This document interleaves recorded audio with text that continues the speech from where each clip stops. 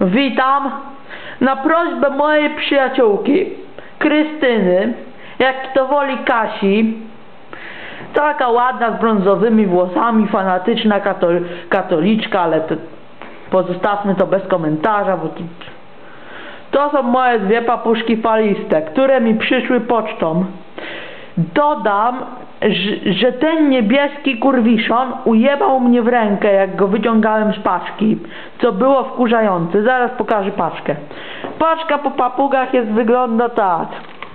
Jest dosyć fajna. Tutaj było tak zlepione tym, do tego trzeba było to, to od, rozwalić nożem, tak dalej. Tam były w środku te papugi, takie dwa razem były. Paczka 30 zł kosztowała sama paczka, głupota, ale zawsze papugi 17 zł kosztowały. Taka paczka przyszła, ciepło im tam było, wszystko, żarcie miały.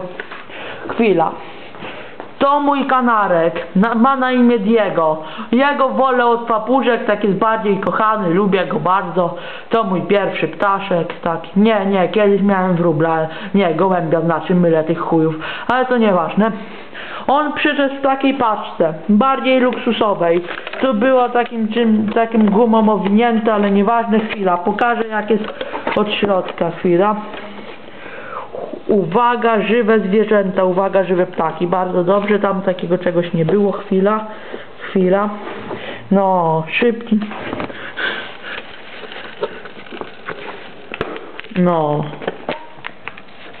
O, to tak w środku wygląda. To po, pozdrawiam Cię, Kasiu. Prosiłaś, to nagrałem. Jak widzisz, pa, paczki z, z nimi wszystkimi szły 24 godziny.